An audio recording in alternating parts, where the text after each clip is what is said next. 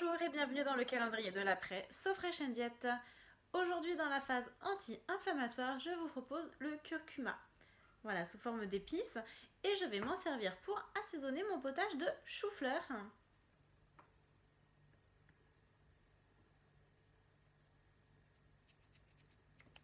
Voilà. En plus, ça fait une jolie couleur sur le potage blanc. Je vous souhaite une bonne soirée. Régalez-vous bien et surtout abonnez-vous à la chaîne So Fresh Diet. Bye